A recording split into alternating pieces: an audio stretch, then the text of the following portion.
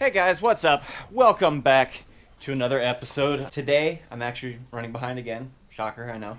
What we're gonna do is we're gonna catch a bunch of the ferals, and we're gonna take them over to Dustin's. He has his pigeon buyer coming by, I think, tomorrow, tomorrow morning.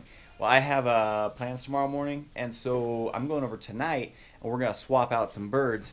He's gonna take my plain Jane ferals, and I'm gonna take some of his much prettier, fancier looking.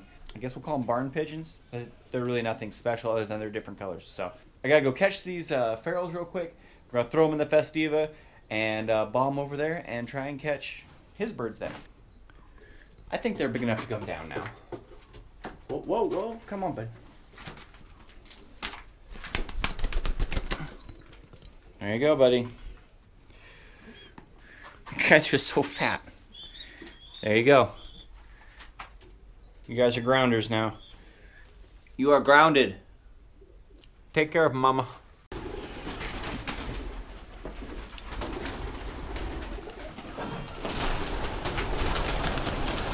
Oh my goodness.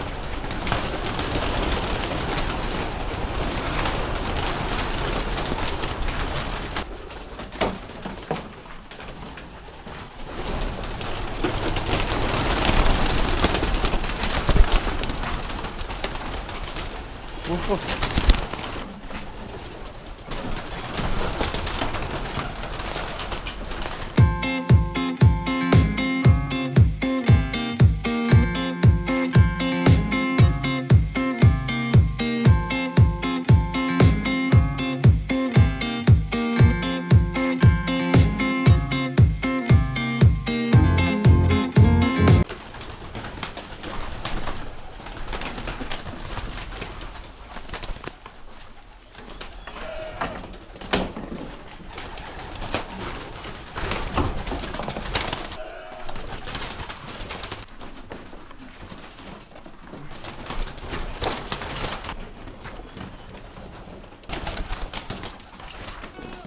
I don't know how many that is. We'll catch about five more and call it good.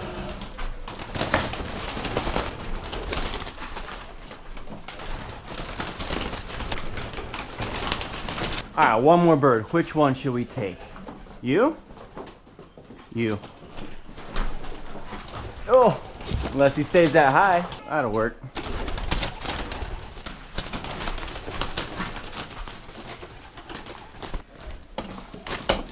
Whew, kind of warm now. All right, let's bomb over to Dustin's place and get this done.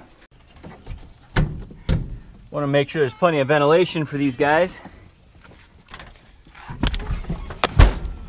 All right, here we go. All right, well we're almost there. Hopefully everyone's uh, enjoying the ride, you know. Anyway, I'm not sure what colors and stuff we're gonna be able to get, but it should be a good variety though, because you know he's getting rid of a bunch of birds. There's gotta be a bunch of color there, so I'm I'm pretty excited about that. Come on, you fluffy chickens. You guys look like snowballs. Yep, we see you. Run! Them there is silkies.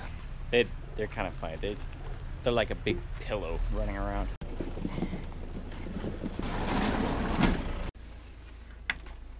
It has been a while since I've been in here. But what do you know? There's still a bunch of pigeons. Calm down, guys.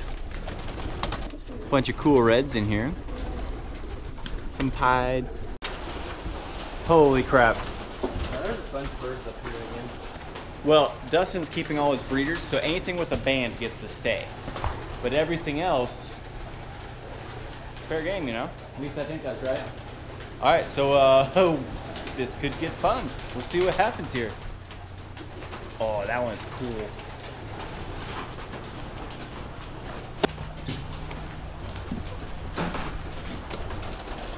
I might be doing more catch and release than anything else.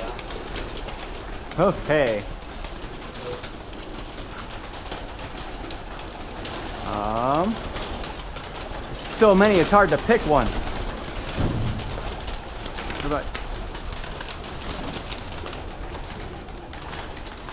Hey, look, my first one's no band. Want to twin to that one? Huh? Want to twin to that Sure, absolutely. That's cool though. It's like someone used his tail for a paintbrush. Looks almost exactly like it. I'm not near as fast as you are. Holy cow. Uh. Band. Be free! Ooh, there's a cool one. That one's young too.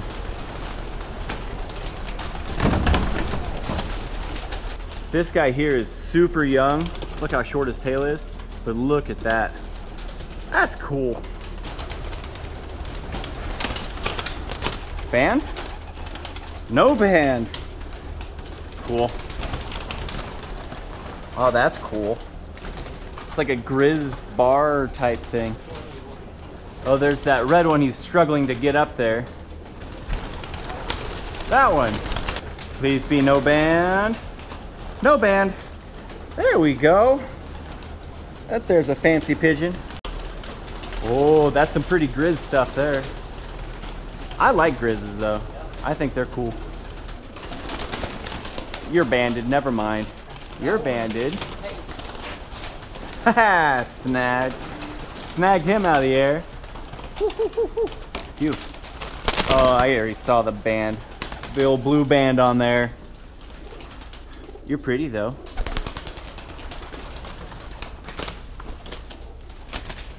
That was kind of accidental. Banded again. Oh! he didn't make it very far past me. Well, yeah, he made it real far past me. He didn't make it past you, though. Dustin went on the other side, can you tell? All right, so we got done catching the ones up in the top off. We're gonna try and pick out another few down here. Whoa! There's a red bar. Pretty. All right, we got a couple out of here. We're gonna go over and take a few of the pure white ones now. So two days ago, Dustin had a hen hatch out some chicks. She's not impressed with having to live in here though, but they're so cute. We'll leave we'll leave mom alone so she doesn't freak out too much more. He also had some guineas hatch, what, month ago? Uh, yeah, three or four weeks ago. So we got some three or four week old guineas in with the mama here. I think guineas are just one of the craziest looking birds. And obnoxious. Okay, mama, I'm sorry. We better leave him alone. Mama doesn't like me around here.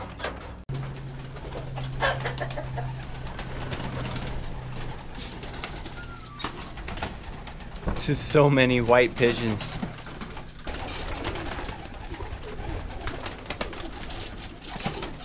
Think we're getting three of these. Yeah. Three of them.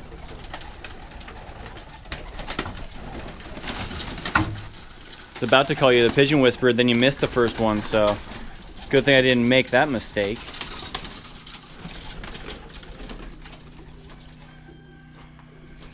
No band. Whoa! Ha! Got it. Camera shy. He can catch him with a net that has a hole in it. There's a much bigger hole than what's supposed to be in that thing. All right, one more. All right, well that does it here. All right, don't sit on each other the whole time. You don't want to get too hot.